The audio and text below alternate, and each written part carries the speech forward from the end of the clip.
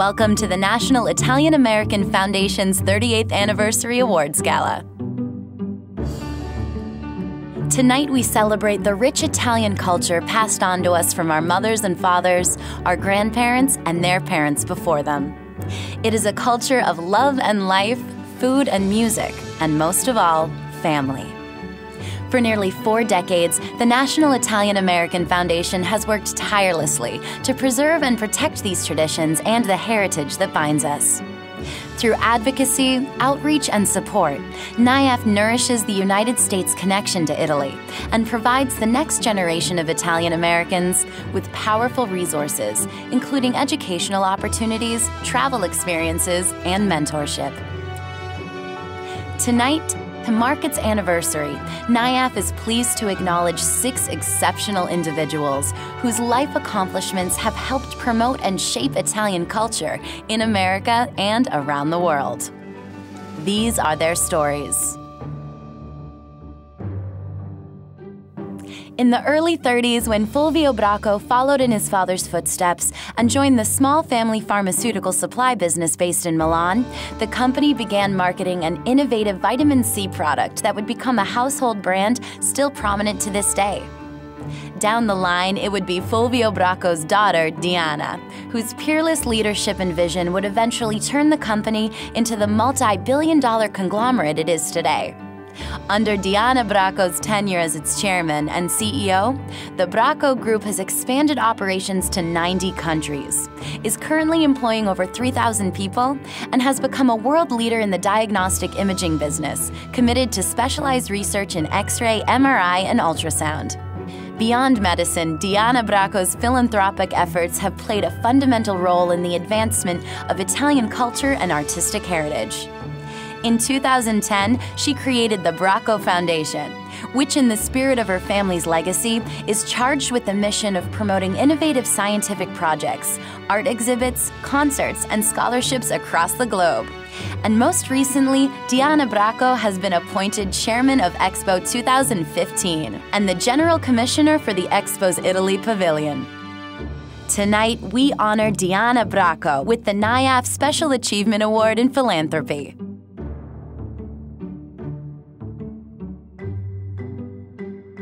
Roberto Colaninno has led and continues to lead some of Italy's largest corporations, spanning a variety of industries and touching the lives of millions around the globe.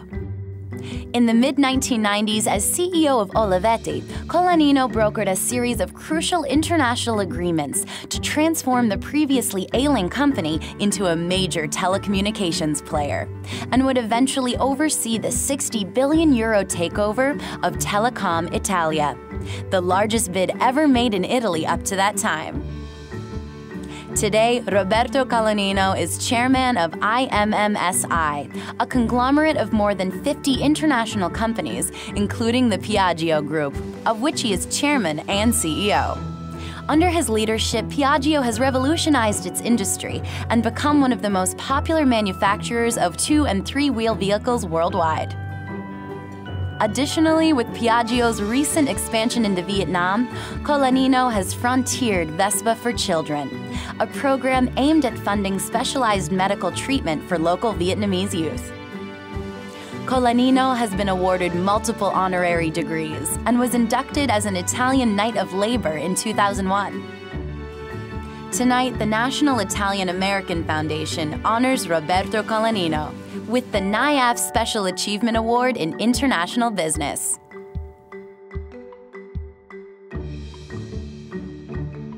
Lou Donatelli was born into a traditional Italian American family with strong Catholic ideals and principles.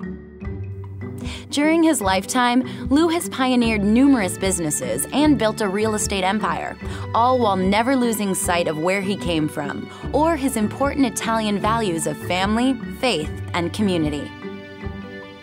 Throughout his long career, Lou has consistently volunteered his time and money to aid in the growth and development of numerous Catholic schools and other charitable organizations, including his alma mater, Villanova University. Additionally, he is a founding member of NIAF. and even today he continues to support the organization's education and youth programs. He has traveled to Italy on many occasions with his wife of 53 years, his four children, and his 11 grandchildren. Tonight, we honor Lou Donatelli with the NIAF Special Achievement Award in Business.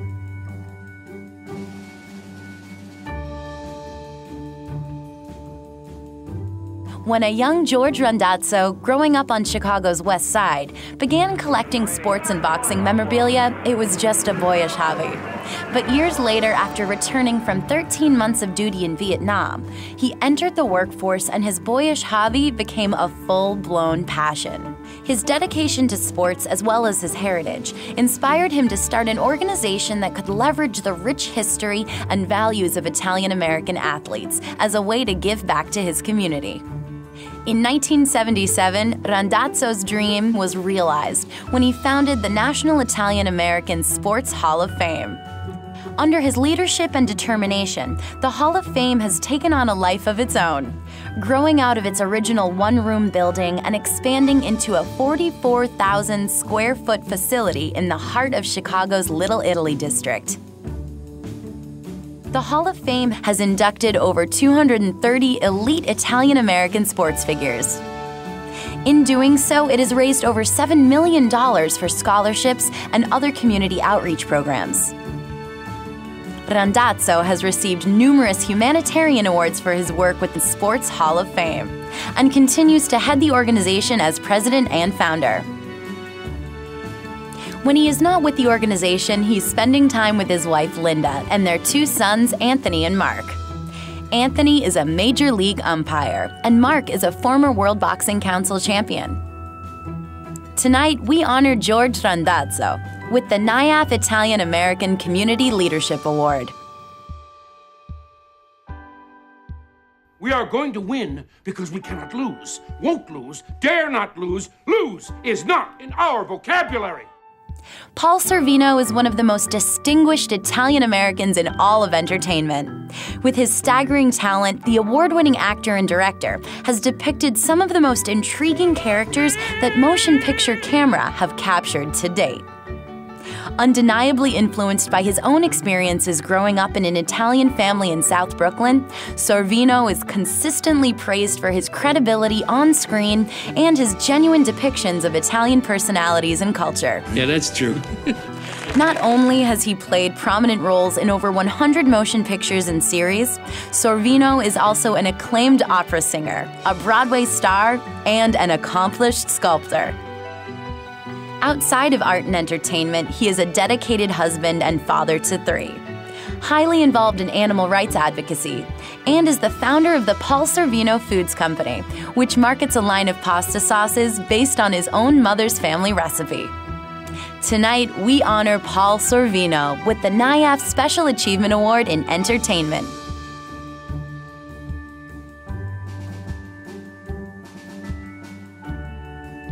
In 1954, Monterey High School elected an Italian American boy by the name of Leon Panetta, the son of immigrants from Siderno, Calabria, as its student body president.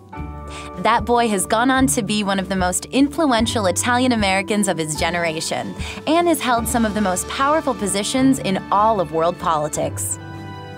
Having served in Washington, D.C. with nine presidents since 1966, Panetta has held such prestigious positions as Congressman, Office of Management Director, Budget Director, White House Chief of Staff, Director of the CIA, and most recently, the Secretary of Defense under President Barack Obama. Notably, during his time as the director of the CIA, Leon Panetta led the operations that brought Osama bin Laden to justice.